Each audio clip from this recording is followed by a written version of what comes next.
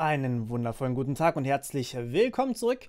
Heute wollen wir uns das Blue-Green Deployment angucken. Blue-Green Deployment ist eine Variante, um einen ganz besonderen ähm, ein ganz besonderes Problem zu umgehen. Und zwar, man braucht ja irgendwie eine Variante der Software, an der man weiterentwickeln kann.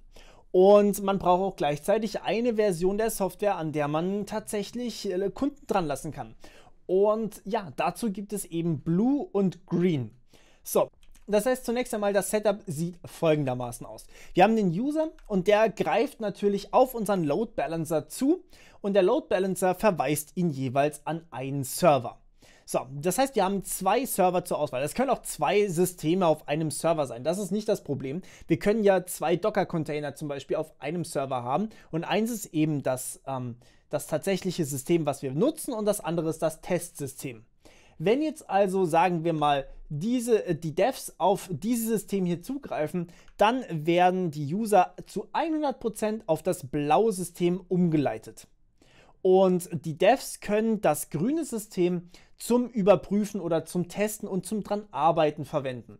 Während, wenn wir jetzt damit fertig sind, das heißt, der neueste Patch ist aufgespielt, die neue Version ist fertig und es funktioniert alles wirklich so, wie es sein soll, dann wird das Ganze fallen gelassen und die 100% werden auf die neue Version übergewechselt. Das heißt, die greifen ab sofort auf den oberen Server zu und ähm, ja, machen alle Sachen dort. Und im Endeffekt wird dann auch die Datenbank komplett übernommen und ähm, ja, man hat eben ein neues System, ein fertiges neues System, während die Entwickler, die haben das untere System, um zu testen, um zu pushen und um zu testen, ob das ganze Ding auch wirklich funktioniert.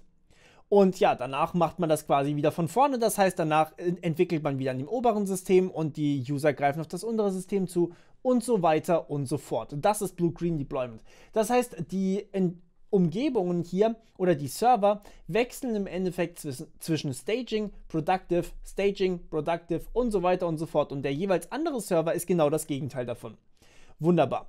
Ähm, ja, natürlich kann der Load Balancer hier nicht nur auf ein System verweisen, das ist klar. Das heißt, wenn wir mehrere Systeme, also sagen wir mal, wir haben zehn Systeme und die Entwickler brauchen ein System zum Testen, dann ist klar, dass der Load Balancer die neun anderen Systeme aufteilt und nicht die Entwickler fünf Systeme bekommen und die normalen Kunden auch fünf Systeme, sondern normalerweise braucht man dann eben nur ein einzelnes System, auf dem die Entwickler dann drauf sind.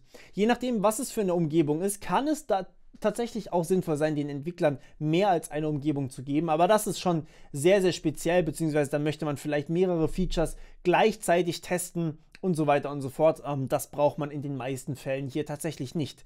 Das heißt, wir haben hier eben einen Wechsel zwischen Staging und Productive und die ganzen ähm, Systeme werden quasi durchiteriert.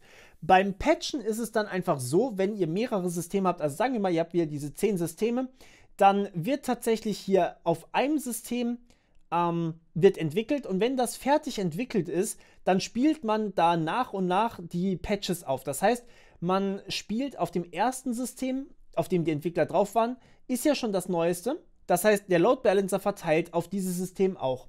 Ein anderes System, System wird rausgenommen und dort wird der Patch dann aufgespielt.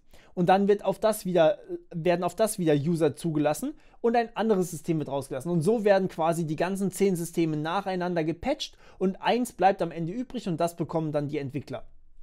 Okay, ja, und das war es eigentlich auch schon wieder mit dem Blue-Green Deployment. Nächstes Mal gucken wir uns das Immutable, Immutable Deployment an. Das hier sollte ich noch fallen lassen. Und ähm, ja, wir hören uns wieder. Bis dann. Ciao.